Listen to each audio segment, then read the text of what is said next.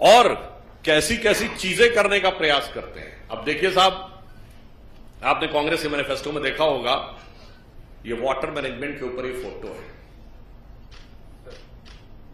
देखिए, इसको जाके आप चेक कर लीजिएगा। ये न्यूयॉर्क की बफेलो रिवर की है। अब देखिए, मुझे लगता है कि अभी तक उनकी सोशल मीडिया चेयरपर्सन के अकाउंट से किसने ट्वीट कर दिया था तो पता नहीं लगा पाए पर उससे बड़ा यक्ष प्रश्न हो गया है, ये फ़ोटो कौन भेज रहा है विदेश से?